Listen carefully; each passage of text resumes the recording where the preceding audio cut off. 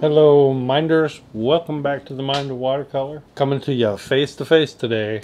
I know it's been a while. I kind of tend to go over this step when things are really really busy and man if things been hectic on the personal side of life. But I managed to bring you another video today and I'm excited about it. I had a lot of fun making it. Perhaps you remember this and if you haven't seen this video I'll have a link to it below. This is a line and wash but it's actually a wash and line. So what I did was a spontaneous painting, which I know a lot of you out there love, but then I added the line on top of it to bring definition to those sort of amorphous shapes. We're going to do something very, very similar to that today, only we're going to use watercolor pencil.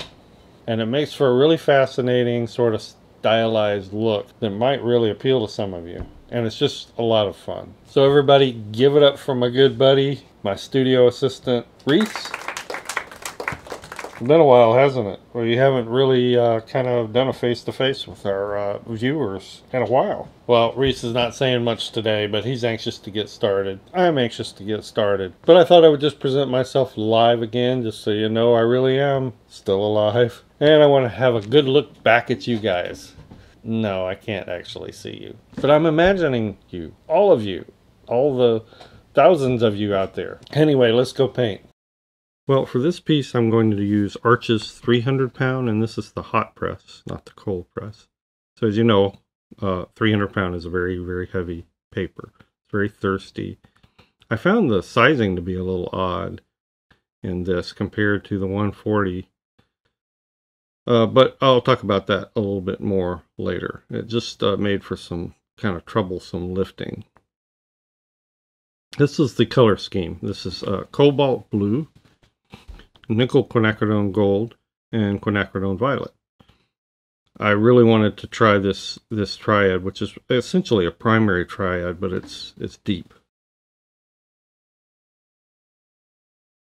So I'm just going to get colors out on my palette and get them prepped. Mostly what you'll see in this painting are the quin gold and the quin violet, with a little bit of blue splashed in where a sky might be.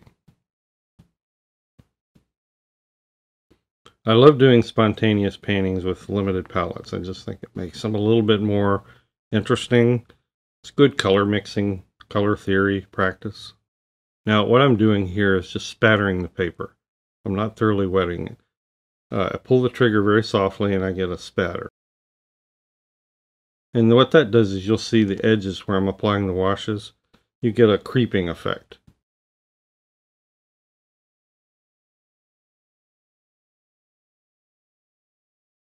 And you can even go in like I'm doing here and add a little more.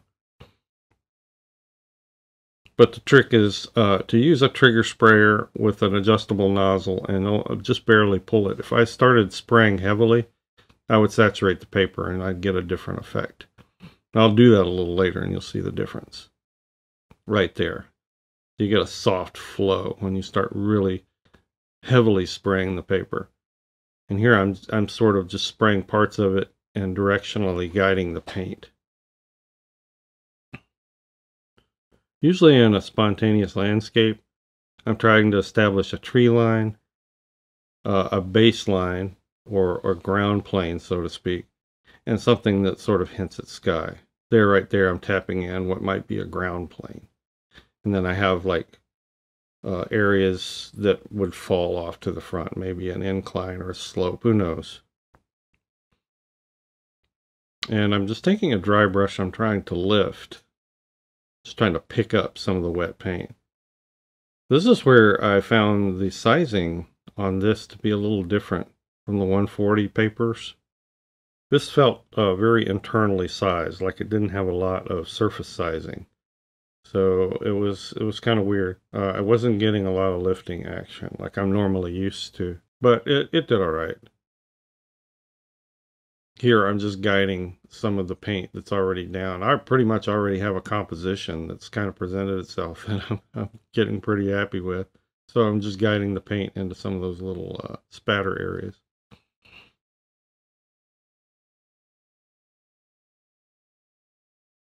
Decided to add a little more sky as clouds and sky. with a wet brush, I'm trying to uh, do some wet lifting by forcing back the pigment. It's like a controlled backwash. So you're seeing a few little areas that get highlighted from due to lifting.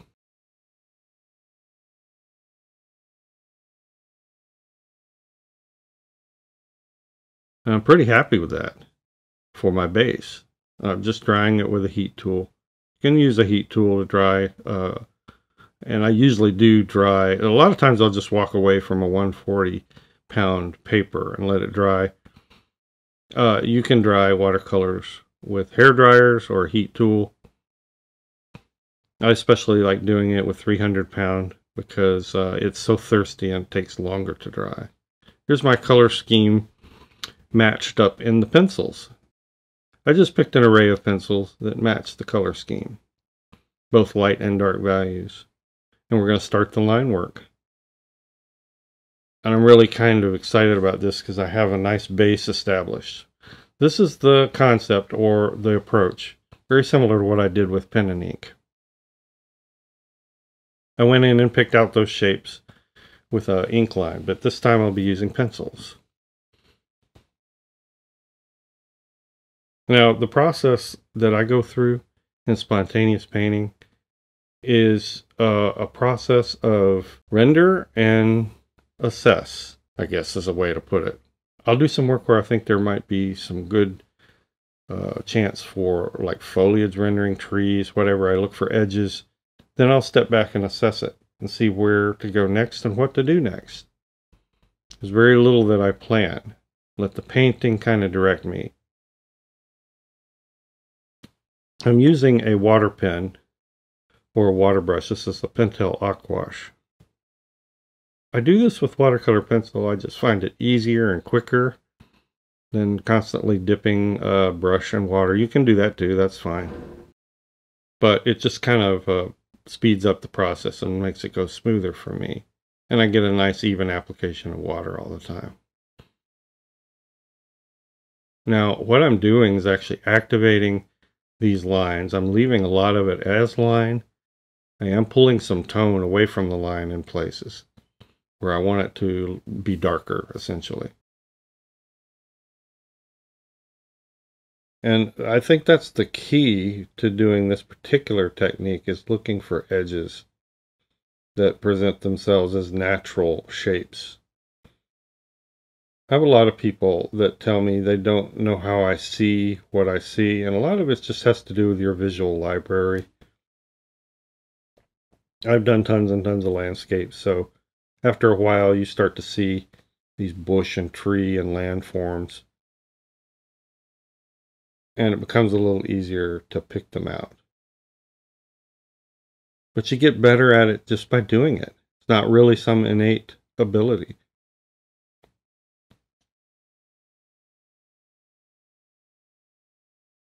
You know, I've told this story before, but I do spontaneous painting, or I started doing spontaneous painting years ago as a way of trying different techniques. And then just seeing how far it could take uh, those splashes of color into actual paintings. And it just became really fun. So, uh, again, I, I caution you don't necessarily try to go into a spontaneous painting thinking, oh, I've got to come out of this with a really great painting. Uh, you'll be disappointed because I've got a lot of spontaneous scraps, believe me. Think of it in terms of I'm going to enjoy the paint. I'm going to enjoy what it does. I'm going to see what it does.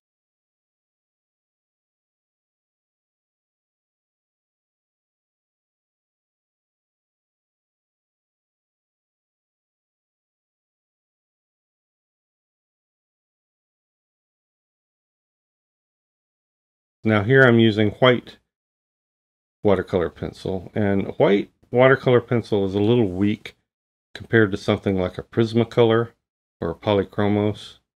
But over dark paint, it does show up. Now, actually, if, if you're trying to get some white or light details, I don't have it on video here, but I did use some Prismacolor. And it will be a little more opaque. Uh, but I wouldn't do that until the end. The advantage to uh, white watercolor pencil is that if you want to spread it or blend it or cut it back, you know, in value a little bit, you can do that with water. And I didn't mind the subtlety of it because I only wanted a little bit of highlighting to some edges. I didn't need it to be really bright white. These pencils just make for some great little fiddly details along the edges. I treated the bottom half of this very stylized, very impressionistic, very expressive. And the pencils are great for trees and tree branches. And uh, you don't have to activate watercolor pencil. I mean, it stays a little uh, lighter I usually uh, will activate most of it, at least just to set it in. But I do leave some of it unactivated. And again, sometimes I'll just activate and set that line in. Other times I will pull tone away from the line for shading.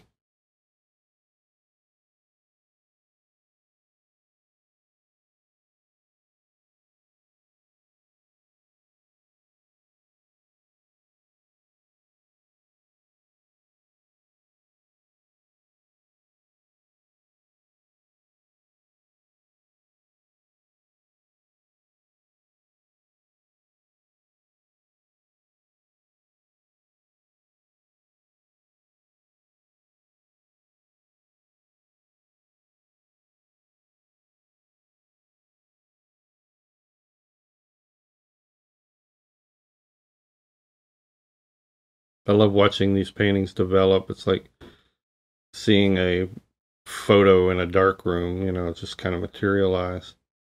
Now, uh, as a final pop, sort of a low light, I'm adding some black in some of the really recessed areas. By the time I activate it into a wash, it'll also take on the color underneath it. But uh, I like using it just to put in those really low light pops here and there.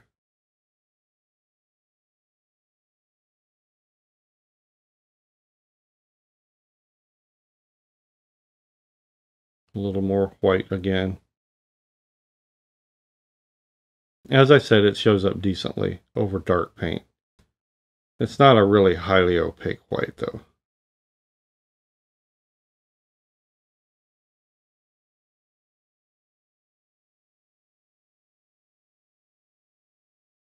And we're coming to the end.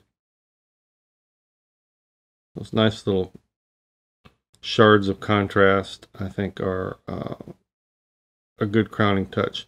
This is the final step. I'm just bringing in uh, a number 8 round and glazing in some color in spots. Just here and there. Just to quickly darken a little bit of color in places.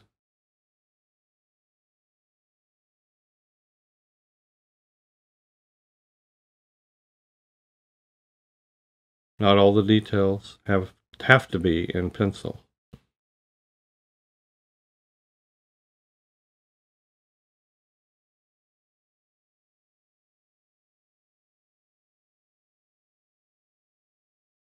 All right, so we're done.